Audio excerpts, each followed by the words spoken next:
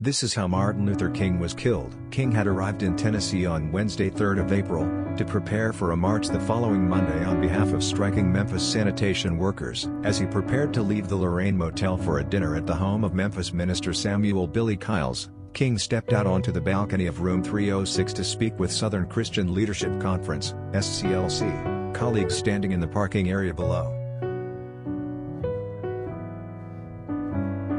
Go watch the full video on our channel.